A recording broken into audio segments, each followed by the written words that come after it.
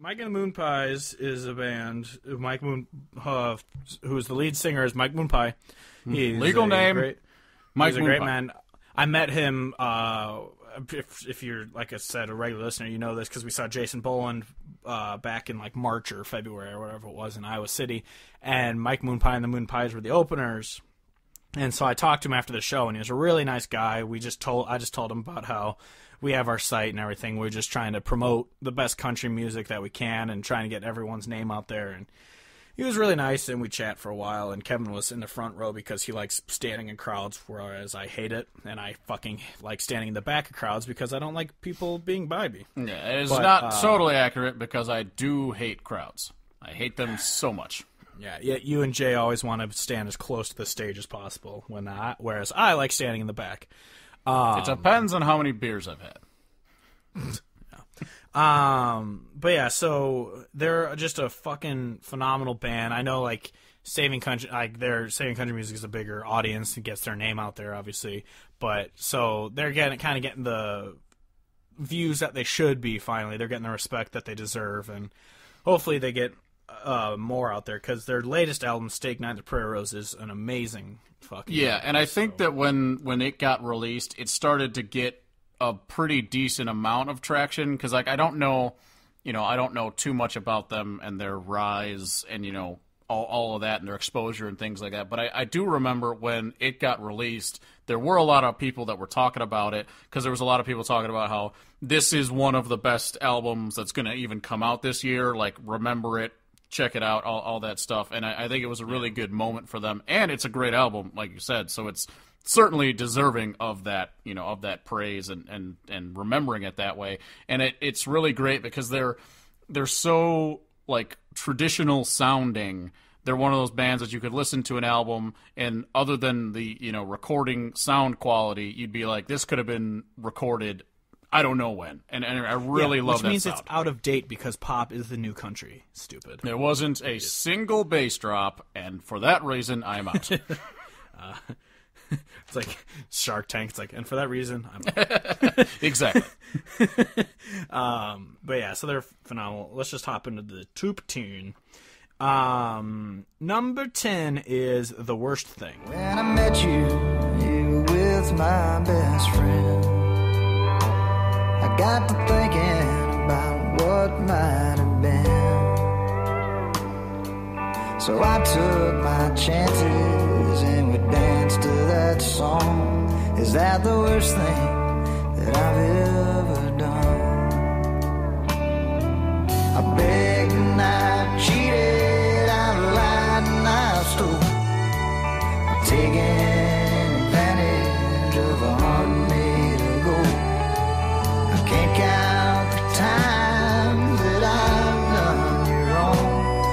what's the worst thing that I've ever done?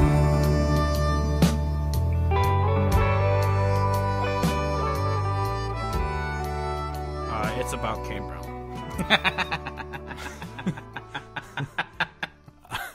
um, Got him. got him. Um, no, this is on your top ten, so I'm not sure actually what this one's about. I don't know You which album this is take yourself. Well, just one second. So, Kevin, have you heard of the one about the the the Jew and the? I don't know. Just trying to pass time. Um, Yeah, this Oh. is one that I couldn't find the lyrics for, and now that we're sitting here, I can't think of what it is. all right, it's good. Listen to it. Number nine. Uh, Oh. yeah. This is one I don't know, so I can't help you with that one. Um, number nine though is "Damn Straight." She moved herself up to Nashville, and I got you fellas to thank.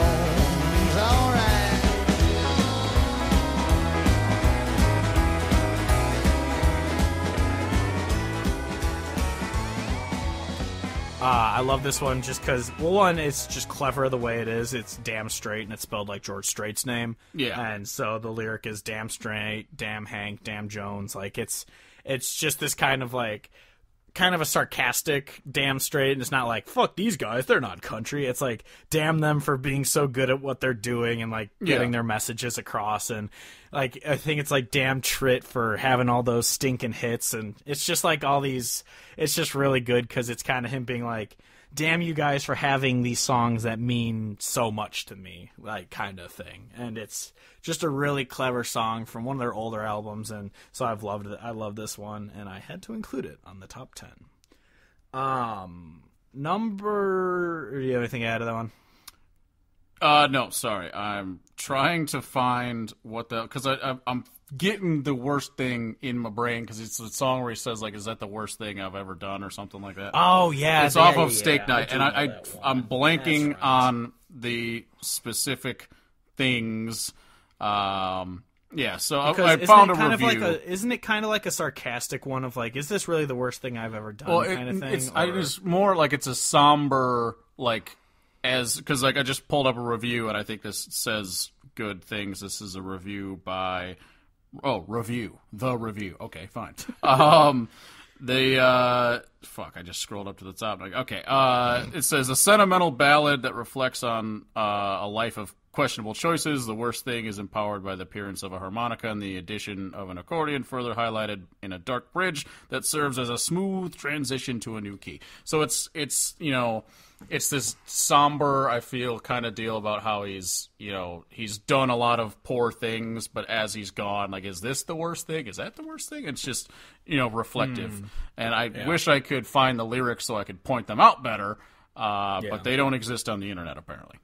Yeah, Mike and the Pooh Pies, Pooh Pies, Mike and the Moonpies is it's like a huge band, so some of their stuff is more difficult to find on the internet, which sucks. But they're fucking great. Yeah, damn it. Um, yeah, I mean, because they have what four albums and an EP out. Like, I didn't really like. There are bands that will be like, let's do this, this, them this week, but we'd only heard like their latest two or three albums, and then we go on, they have like six albums. Like, what the fuck were these Yep. other ones? Where were these ones? Yep. How did I not know these existed? So these, the Mike and the Moonpies was one of those where I go on and they had two albums I hadn't heard before. I was like, oh shit, I got some sh- listening to. yeah, absolutely. And they're great, um, and their sound is great, and that's. Yeah. I mean, that's the other thing too about them. That's it's. You can listen to a whole album, you know, start to fishing, start to. Oh my god, my brain is. Start to fishing. I want Friday, to start Kevin, fishing. okay. My brain is broken. okay. I'm tired. Um, but you can listen to an album from start to finish, and it's it's got the consistent sound that is good from just the whole the whole way through. Like not in a monotonous way, but in a they're they're just good and they make good music. Yeah. Um, yeah. So number eight is The Hard Way. I knew I couldn't be a family man. I just had to get my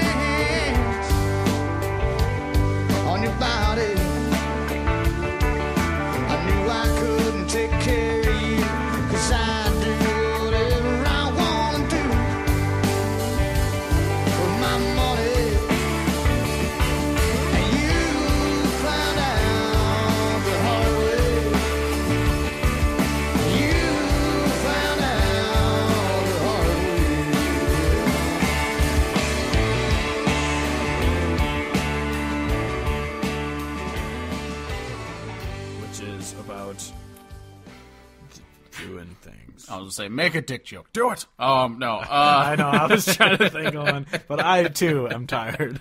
uh, so this is a song where so the, the the hard way is about he he has the line in there like but you found out the hard way and it's basically about you know him and you know like the beginning talks about with him saying like I uh I do whatever I want with my money but you found out the hard way and so just basically him treating his lady wrong uh and she finds out that he's not that great in a variety of instances the hard way Yeah, yeah. Fucking. They, some of their songs' lyrics are just so fucking good. I remember uh, actually when I was listening to it, the song "Road Crew" came on. Obviously, because I was listening to all their shit, and uh, I remember seeing something on Twitter, like Mike Moonpie really snarkily kind of responded to someone's tweet where it's just like, I feel like all their songs are just like about touring. And it's just like, yeah, because that's what we do a lot of.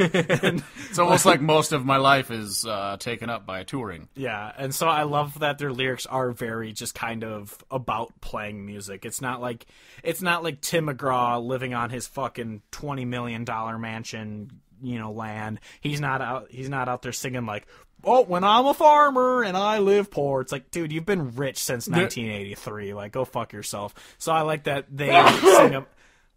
Jesus Christ. That one took me over. In the in the words of Tyler Childers, uh, it took me over from the toenails to the crown. That was whoo. Goddamn. I think you're possessed on that one. I, I have had some fucking sinus shit going down lately, Yeah. and I will randomly because like you, you know you know what happens when you got to sneeze. You just you feel it and you sneeze. I have been having it in my life. but I've been having it where like I can feel it building, and then it goes Mm-hmm. from like, oh, I have to sneeze to like, oh my god, the inside of my face hurts, and then I sneeze. nice. Um, what the fuck are we talking about? I don't know. oh, about how how how their songs are actually relatable. How yeah, like Tim McGraw and Toby Keith are all singing like, "Oh, the hard life of you know being poor." Oh, yeah, well, like it- you haven't had that in twenty. 30 yeah, and it and it goes to show, you know, it's you can tell that they write these songs because they wouldn't be getting someone to write a bunch of songs about being on the road for them. They're actually Yeah. writing them themselves. yeah, exactly. Um, number seven, getting high at home.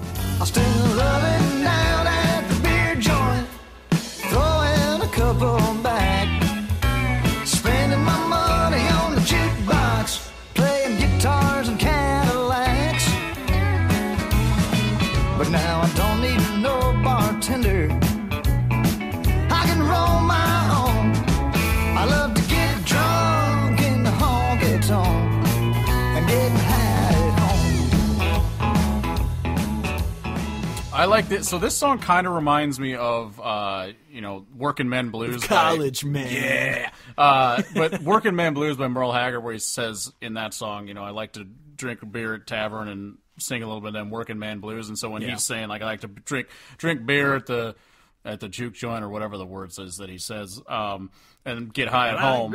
Down at the But I also like it because in my older older days, I like the idea of just fuck it, I want to stay at home, and so exactly. so him just saying like I like to go out and have beers and get high at home, and so it's just like yeah, just have your own time, chill at home. It's just uh, it's good, and I do like like you said like the the pacing of the song and way, the way that they're showing is like Yeah. like I don't know, it's nice. I like Yeah. it. Well, yeah, I love it because especially at our age, we're in our late twenties now, and it's funny just being like where it used to be like it's nine o'clock bars now. Let's go. Yeah. We're closing it down. We're gonna be out there till three, and nowadays it's just like oh, it's already eight thirty. I guess let's just get drunk here and go to sleep. Exactly. oh well, I guess I'm not going out today. Yeah, yeah, exactly. And especially me living at home again, I haven't gone out to get drunk and uh, I genuinely don't know. Last time I lived out there, probably out in Iowa, is probably the last yeah, time I've been, drunk. uh, I've been finding out why happy hours exist because it's so much better to be like, I'm going to come from work, have a couple drinks, and then go home and then be done with the day. Yeah, exactly. Oh, actually, I lied. Last time I was drunk was the pregame Medicine Stone. That was it. That was last time I was drunk, which I got a little too drunk. that was on drunk. one. That that was Yeah, what that was- I would describe. That was As that was college. That was college drunk. Like unbelievable levels of drinking. Uh, what was that beer called? That shitty fucking beer. Frio Where you get the 6.4. koozies? Frio. Frio 6.4, so you can never forget how much booze is in there because in Oklahoma Fucking you Frio. haven't had full strength beer ever. I just loved though when the Oklahomans were like, "We're getting that 6.0 finally," and everyone's like, "You do know it goes higher than that." Oh too, yeah, right? 6.0. Yeah, no, that's exactly what I said. I was just like, you know that that's not the limit. Wait till you have those 11 five Yeah. years. Wait till you wait till you drink a fucking imperial stout aged in whiskey and it's twelve and a half percent. And you drink one of them and you're like, oh fuck.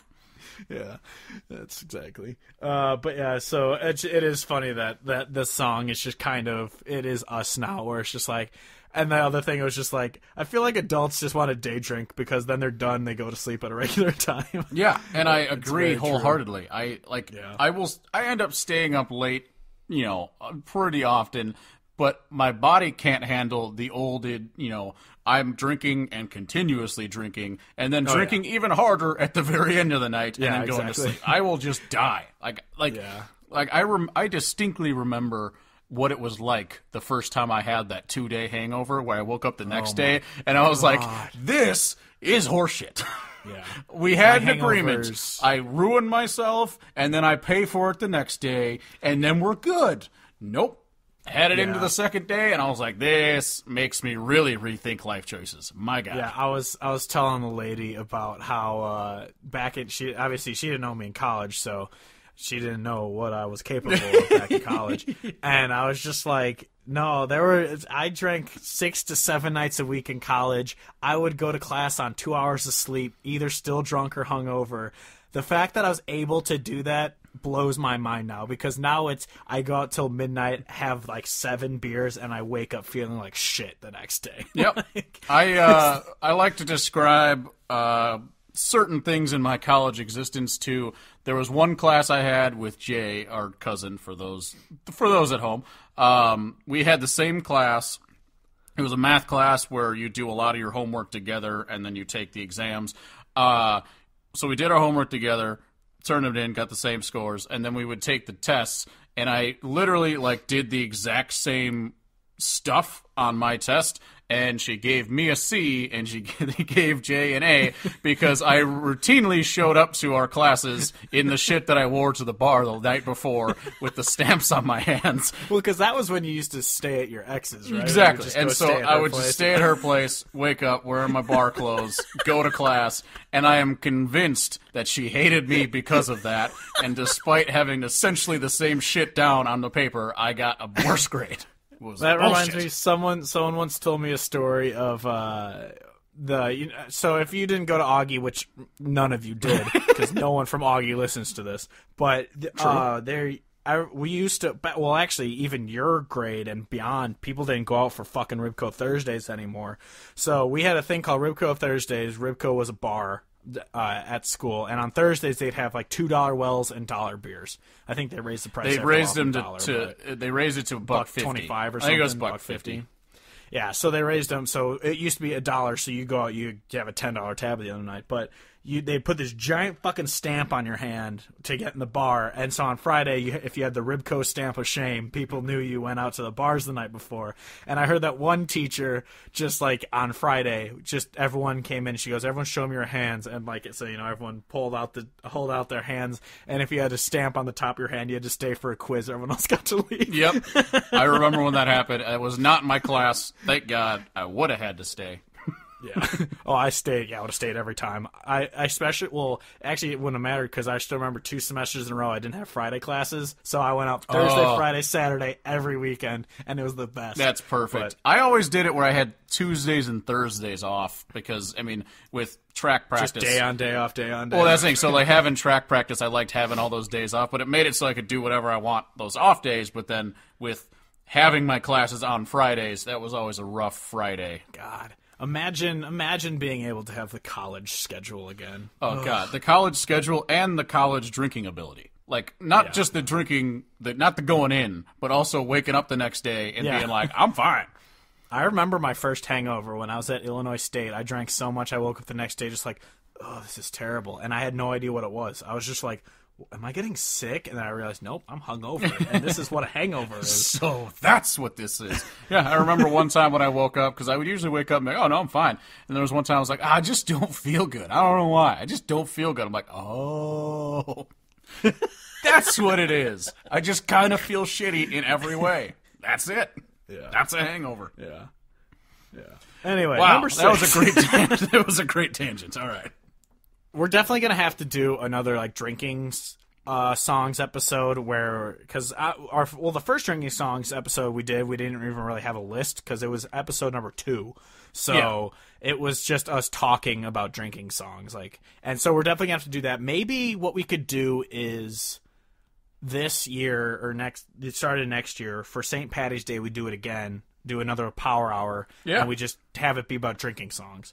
Because Yeah, if that. you if you haven't, I think I don't know if we talked about it on the podcast. What we're thinking of doing is doing the same power hours we did before, but we're just going to do it as an episode. But people will be able to obviously have questions and shit because it'll be live. But we're going to treat it as a regular episode. So then, even later on, if you aren't live, you can listen to the episode and do the power hour stuff with it. So Yeah. that's kind of what we're thinking of doing. So yeah, maybe we got to do another drinking song. We can tell drinking stories and shit like that on the next power hour. But you though we should do a power hour again before then because we haven't done one in a while. I think Cinco de Mayo was the last one. Yes. But yeah. Anyway, uh, number six, country music's dead.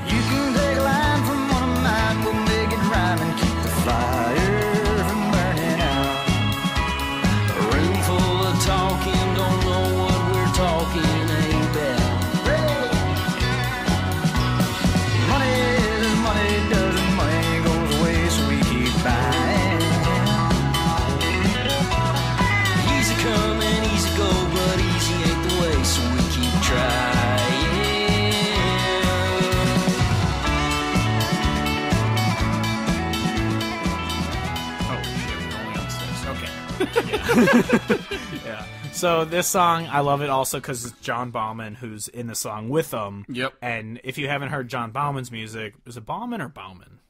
I had a neighbor named Bauman, so that's how I always say it. But uh, John Baumann or I Bauman, I don't know. I say but, I say bombing, but I also have like you said, I don't know. Yeah. um, but so this song is about it's just kind of like the line is I don't care if country music's dead because it's about these guys who it's like I don't care if country music's dead, we're still playing it. Like this is the music we're playing and it's it's hardly it's not even really like a serious um like protest song. It's not really a protest song as much as it is just kind of like a we're being us type thing. Exactly. It's not it's not saying like screw country music and what it's turned into. It's more of we're going to do our thing and Yeah. our thing is country music. Exactly, because it's it's more the the country music's dead is just I feel like they're alluding to the fact that the pop shit's taking over, and so the idea of country music may be dead, but they don't really care because they're making what they do, and that can you can call it whatever the fuck you want. It's they're gonna keep doing it. Yeah. Yeah, and it's just a fantastic song. Like we said, definitely check out John Baumann's music. He's amazing. His song "Here We Go" or is it "Here I"? Oh, "Here I Am." Here I am.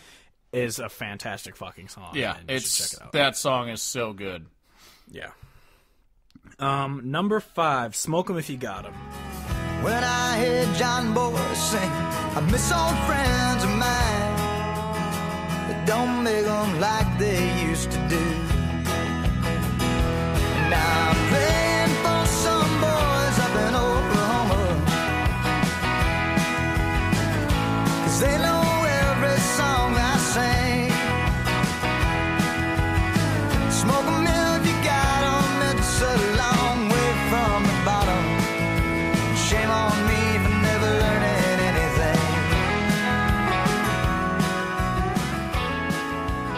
This is definitely their most known song, probably.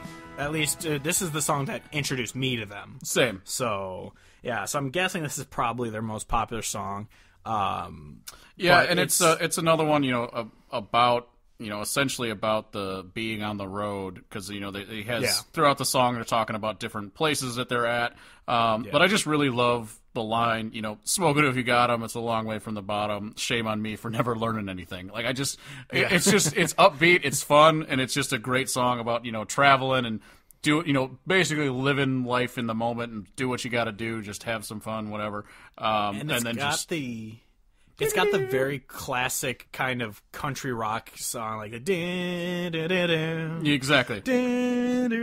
Like it has that and it's just it's such an yeah it's such an upbeat catchy song. Like this is one that has come on it's rare that i can work out to country music but this is one of those that comes on and it's so upbeat and fast like it's one i can listen to in the gym and just still be like i'm gonna run like kind of thing and Yeah. it's yeah it's a fantastic song um number four is steak night at the prairie rose Down to steak night at the Prairie Rose. A covered band from 10 to close,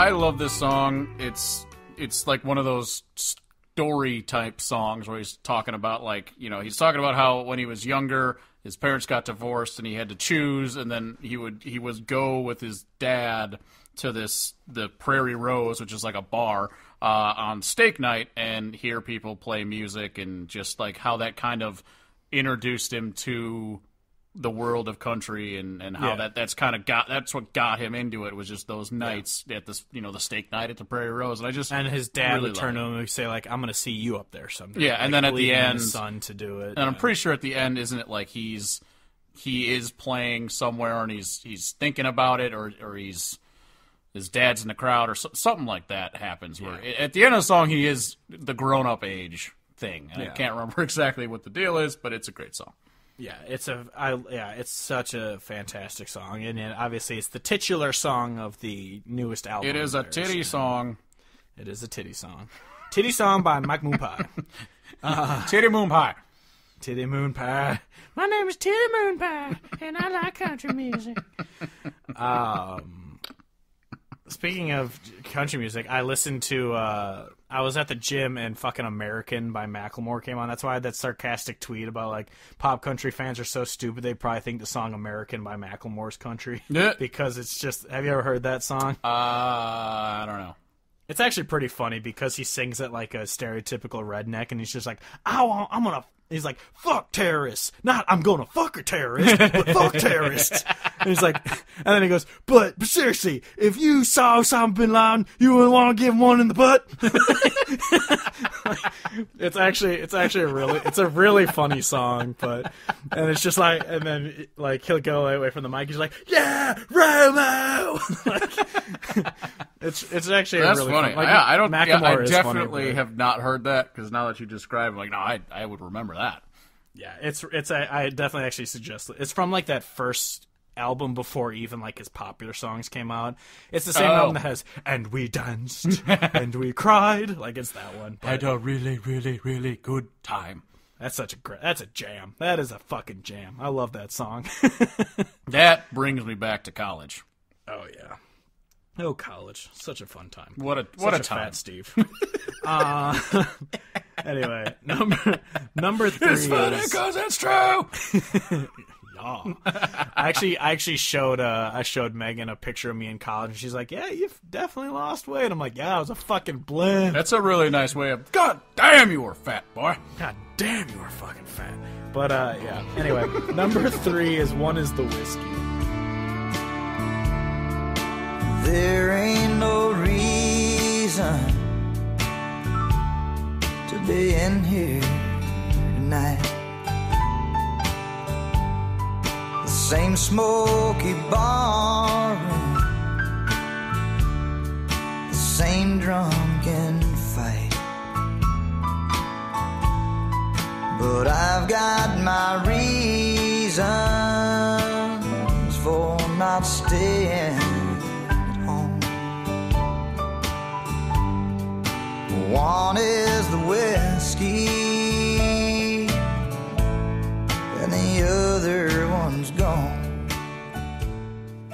Uh, oh fuck. So yeah, Yeah. we uh, this is one of those fantastic songs. It's obviously a breakup song because it's one of those.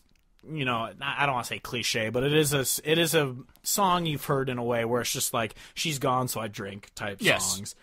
But uh, the way it's written is so great. Is like I'm only here for two reasons. One is the whiskey, and one is because she's gone. Like, and it's fantastic. Paused. My, paused. I know it's fucking. I tried to make it go away and it won't come back. Well, goodbye. I guess we'll talk. uh, I got a, a fantasy football notification that I tried to make it go away, and now it's taking me to fantasy football, and I don't want a fantasy football. I have the game on. I can see what's happening. All right, we're back. but yeah, the uh, the that style of song, the the I'm drinking because I'm sad and alone now, is one that has been done before. But this is a really well written song, like you said. yeah, it's, just yeah. it's the, great. the lyrics are the lyrics make it great. Yes. like, it's just a fantastic.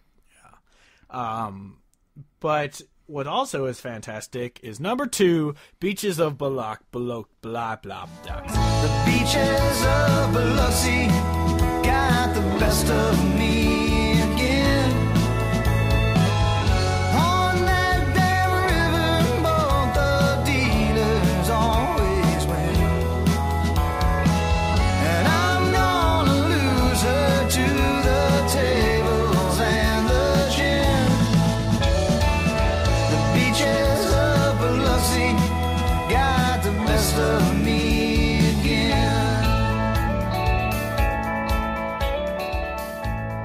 Beaches of Mississippi. Um, Beaches of Biloxi. uh, no, I I love that. This is probably, I mean, it, the way that I ranked them, I feel like this is what I put higher as favorite song off that album, or maybe not. I don't know. I love this song. Three of yours. Oh, well, son of a. I mean, no, like as far as off of the that album. Oh, it's your highest off the Yes. newest album. That's what I was thinking because I love the sound of it, and it's you know beaches of Biloxi. Apparently, there's a bunch of casinos in Biloxi. I had no idea. I've never been there. Um, But then the whole song about him, you know, like hoping that he can not lose his ass because the casinos always seem to win, and he wants to try to not fucking lose all of his money at the beaches of Biloxi. Uh, and it's just got a, a tremendous sound. Yeah, it's such a yeah, it's yeah, it's good. um, True. It's it's just nice because it's one of those like it's a story song type thing uh, where it's yeah, it's one of the where you're probably never going to be in that situation, but it's still kind of relatable in a way. If I ever go to Biloxi, I'll be thinking about how there's casinos here, apparently. Yeah. But anyway, number one is our first unanimous in I don't know a couple weeks maybe. Forever. I don't know. I don't know what the last unanimous one was. But uh, number one is I Don't Love You.